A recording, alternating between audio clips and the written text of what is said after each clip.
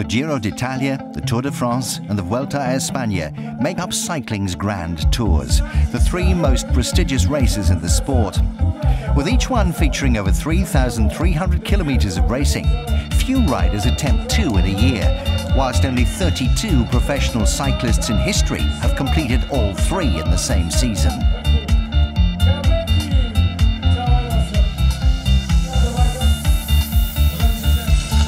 This year, one man has been attempting to become the first amateur cyclist to achieve that impressive feat. For the past five months, Australia's Keith Tuffley has been cycling every kilometre and every stage of this year's Grand Tours on the same day as the professionals, only hours ahead of the main peloton. Whilst the professional riders each have a caravan of support staff as well as their teammates to help them through the stages, Keith has been tackling each one by himself.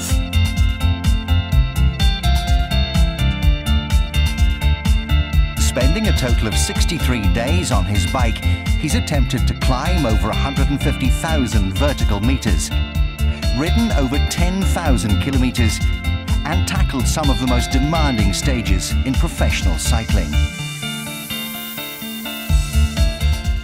Are tough. I mean, there's no doubt about there's some days where you really, uh, you know, you think about crikeys, what, what, why am I doing this? Um, you know, it can be lonely and it's wet and cold and, you know, you're just not having a good day. And uh, But, you know, you've got, to, you've got to look at the context of the overall adventure. You just got to think about the, the experience and the fun and the, you look around and see things that you wouldn't see from a car. I think the biggest thing is that, that's that mental discipline, being able to keep the mind working as opposed to just getting depressed and down. You just got to stay positive.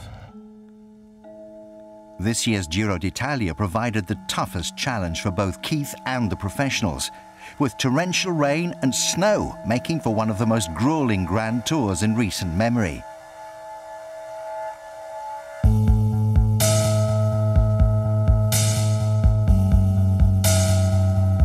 On several days, conditions were so bad that the race organisers had to cancel or shorten stages that Keith had already ridden, meaning he completed more of the demanding course than the pros. Yeah, it was it was really brutal. Uh, you know, it was unseasonal weather, and um, you know they had to what change the route on two occasions. They cancelled a day because of the snow, the blizzard. Oh, and the the lasting memory for me was one day which they cancelled, and I got up at five o'clock in the morning and got the top of uh, del Tonale, and it was minus five degrees, and it was blowing a, an absolute gale at the top, and yeah, it must have been minus 15 with the wind chill factor. And I was wearing uh, a few layers. It was okay when I started. When I got the top, it was just it was freezing. Um, but you know, it was at the time. Yeah, it was difficult, but I wouldn't say bad memories at all. It was all actually looking back on it, really good memories, and uh, mixing up those challenging days together with the fantastic days was, is, is part of the adventure, part of the, the overall experience. Having cycled the route of the Tour de France in 2011 as well as the Giro last year, Keith was already well aware of the demands posed by the world's greatest cycle races. This year, however, marked the 100th edition of the Tour de France, making it a unique time to be part of the great race. There was something special about it this year. I thought the course they had chosen was incredibly good. Every day, and just about every kilometre of every day was, was just a great route. So I thought they chose just some of the best parts of France to, to cycle through. I also thought that the crowds were just really, really strong this year. Yeah, it was just a lovely family and, and community spirit to it. It was just a, a magnificent route. I, I, loved it. I, I, really loved it. I thought that the tour this year was, was quite special. Although Keith has been tackling each stage away from the main race, a number of professional cyclists have been inspired by his efforts. Every team competing in this year's Vuelta donated a signed jersey to his project, whilst others have taken their support a step further, with former sprint great and 12-time Tour de France stage winner Mario Cipollini riding the second stage of this year's tour alongside the Australian. So cycling with Mario was, was a real highlight. You know, a lot of fans on the road on the way there, and they all recognised Mario. So constantly, I was just hanging on behind and hearing the chants of Mario, Mario. I mean, he's, he's, he's a bit of a show pony in a nice way, but deep down, he's a really nice person, and he was looking after me and. And, and caring that made sure that I could finish the day, and uh, he, he, was uh, an absolute delight to cycle with. It was a, a, a true highlight of the, of not just the Grand Tours project, but actually all of my cycling experience. He was a, an absolute delight. Whilst completing all three Grand Tours has come to represent a huge personal goal for Keith, the challenge has not just been about his individual accomplishments. Having raised funds for environmental causes on previous Grand Tour adventures, the aim of this journey has been to use cycling to promote the wider cause of sustainability. Concept of cycling. It's an extremely efficient way to travel. You're close to nature, you're close to people. Uh, it's a fun way of, of being involved with the local community. It uh, keeps you fit. You know, so it's got very strong links to the whole philosophy and approach to sustainability. Um, you know, you don't need to get in your large car and, and fill it up with petrol to go to the shops. You can get in your bike and do that. And if we all did that, um, you know, the world would be a better place. In keeping with that environmental philosophy, one of the great rewards of Keith's journey has been the incredible scenery he's been able to experience along the way.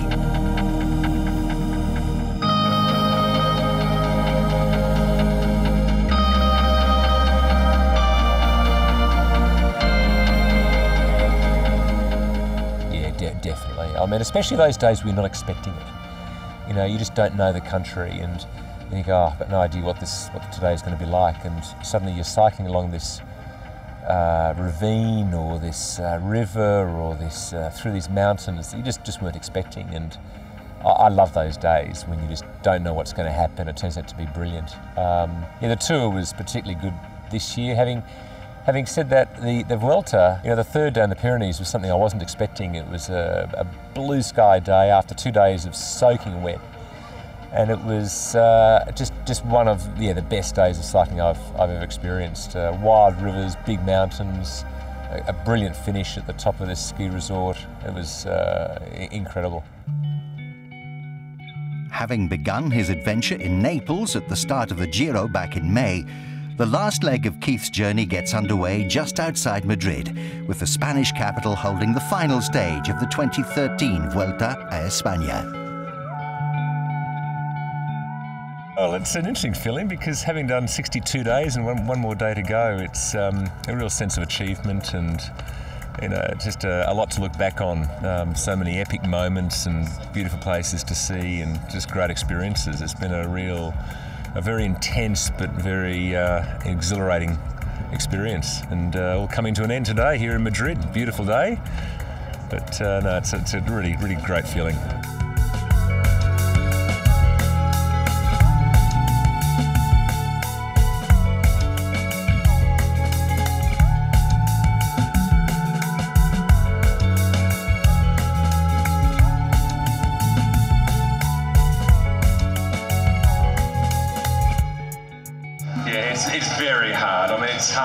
Physically because you, I've just cycled 10,500 kilometres. Um, I've cycled vertically, up uh, 150,000 metres and uh, cycling along with all the, the, spectators supporting me up the mountains has been fantastic. So thank, thank you everyone.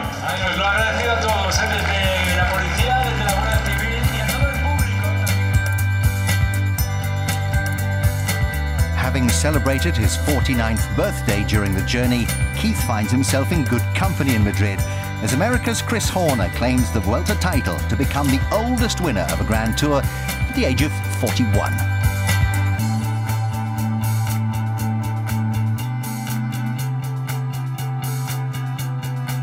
Although Keith Tuffley won't be receiving a jersey for his accomplishments, having ridden well over 10,000 kilometres and tackled some of the steepest mountain climbs in professional cycling, his journey remains a remarkable achievement.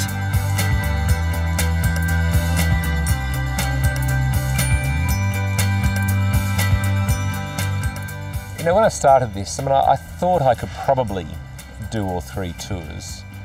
Um, obviously, I didn't know that I could, but it, it, it's amazing what you can put your body through and your mind through if you're really focused on it and determined to do it. And and I think uh, doing something like this it expands. You always expand your horizons about what can be done.